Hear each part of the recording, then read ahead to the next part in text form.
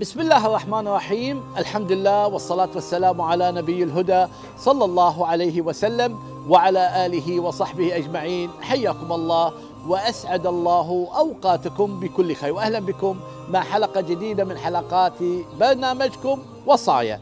اليوم الوصايا في قيمة عالية قيمة عظيمة.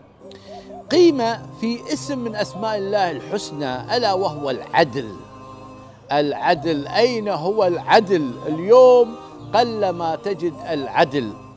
وكثر في هذا الزمان الظلم والجور والانحراف عن العدل. نحن بحاجة إلى أن نقول عدلا وأن نفعل عدلا وأن نقيم الناس عدلا وأن نقيم العدل في بلادنا وفي أوطاننا وفي مجتمعاتنا. وكما قالوا دولة العدل إلى قيام الساعة ودولة الظلم ساعة.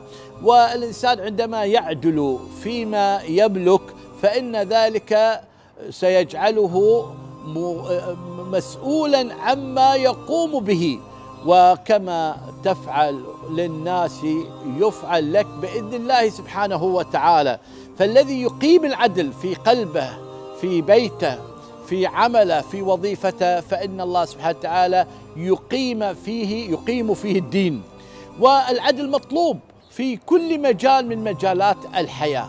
ودعوني أبدأ بذكرى أو مشهد من مشاهد العدل في بداية الإسلام لما غزا قتيبة بن مسلم سمرقند. وعادة المسلمين ليس كباقي الحضارات أو الأمم فإنما يعرضون على الخصم الإسلام فإن أبى فالجزية فإن أبى فالقتال. فقتيبة بن مسلم لما وصل إلى بلد سمرقند وكانوا على أديان مختلفة ليس دين الإسلام فوجدها بلدة سهلة وبلدة يعني ليس فيها يعني ذلك المقاومة. فدخلها عنوة ودخلها وبسط رجاله. فشكى أهل سمرقند إلى كان خليفة المسلمين الأموي عمر بن عبد العزيز في زمانه.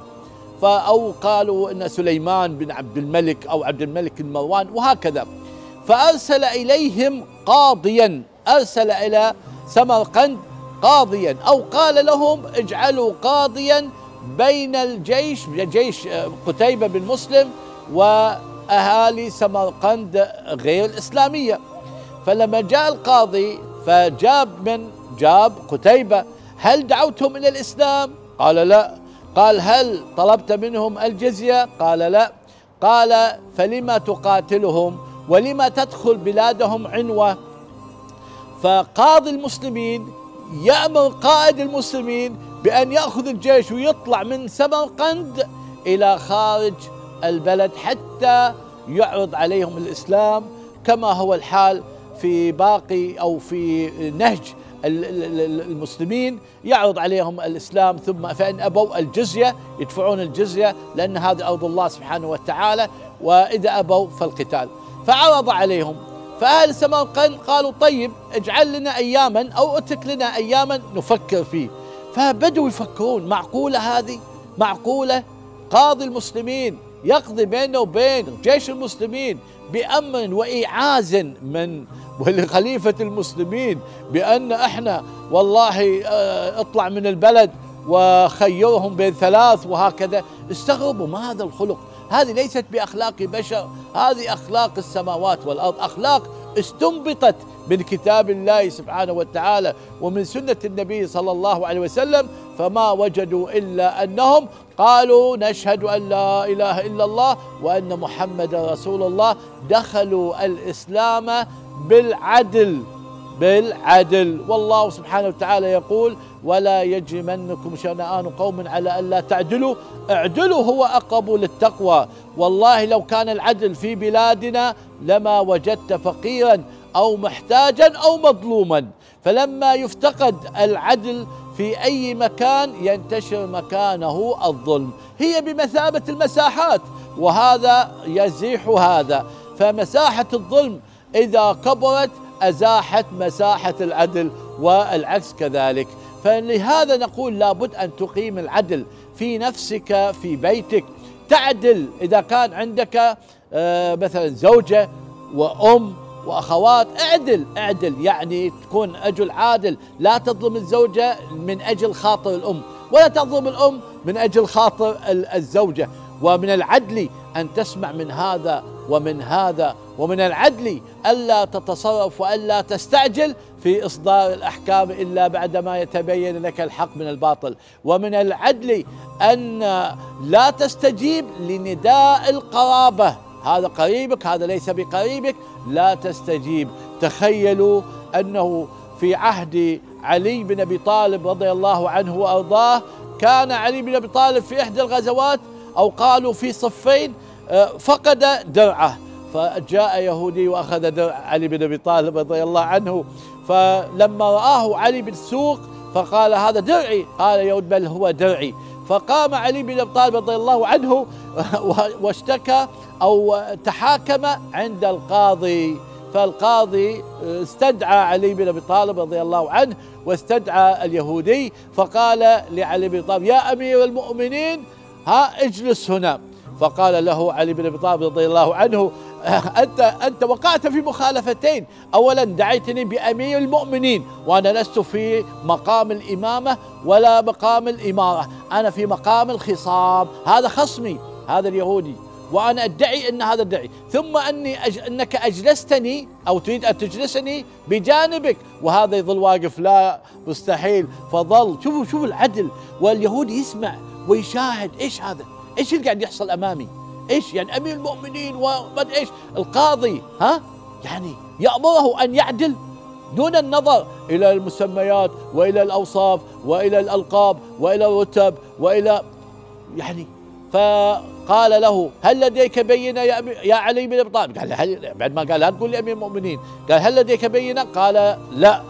غير أن الدرع درعي. هل عندك بينة؟ قال لا. قال إذا الدرع لليهودي. اليهودي يعلم أنه ليس درعه إنما هو درع أمير المؤمنين أبي الطالب رضي الله عنه. فلما شاهد هذا المشهد العظيم وهذا يعني المنظر الفظيع كيف يتحاكمون فيما بينهم؟ وهذا خصمهم يهودي. فقال يهودي أنا هذا الدرع والله الدرع درع أمير المؤمنين وأنا أشهد أن لا إله إلا الله وأن محمد رسول الله. فإذا شوفوا العدل وين يوصل الإنسان؟ اعدلوا. ولا يجوز أن يكتم الإنسان الشهادة إذا كان في مقام العدل. أنت تعدل حتى لو كان قريبك.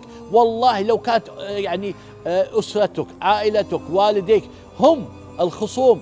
فتشهد والله يقول ولا تكتموا الشهادة. ومن يكتمها فإنه آثم قلبه. اعدلوا ها ولو كان ذا قربة أو على الوالدين أو الوالدين والأقارب. المهم إنك تعدل ورب العزة سبحانه وتعالى يدعونا وإذا حكمتم بين الناس أن تحكموا بالعدل ولو كان ذا قربى. فأيضا من العدل أن تعدل بين زوجتين إذا عندك أكثر من زوجة.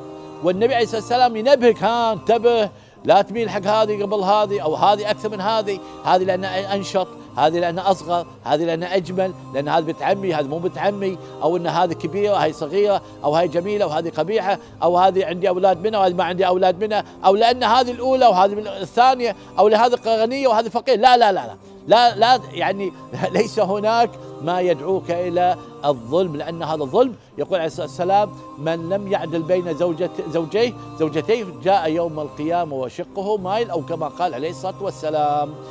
أيضا عدل بين الأولاد تعدل بين أولادك أولادك بحاجة إلى العدل.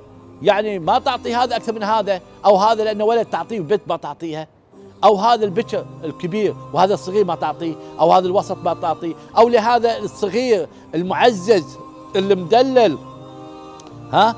آه تعطيه وهذا الكبير ما تعطيه أو هذا من زوجتك اللي تحبها وهذا من زوجتك اللي أنت ما تحبها أو هذا تعطيه لأنه من زوجتك حاليه وهي من طليقتك ما تعطيه أولادك. اعدل بينهم. لما واحد جاء إلى النبي صلى الله عليه وسلم قال يا رسول الله نحلت ابني هذا كذا وكذا. قال هل نحلت باقي إخوته؟ قال لا. قال لا أشهد على زور أو على جور أو على ظلم. فاذا العدل مطلوب في حياتنا. اعدل في دوامك اعدل في وظيفتك اعدل بين الموظفين اعدل بين الطلبة اعدل بين آه، العمال اعدل بين العمالة اللي عندك في البيت. اعدل بين إخوانك اعدل. المهم هذا العدل يجلب لك السعادة ويجلب لك الخير ويجلب لك التوفيق. هذا بالله التوفيق وصلى الله على نبينا محمد وعلى آله وصحبه وسلم. والسلام عليكم ورحمة الله وبركاته.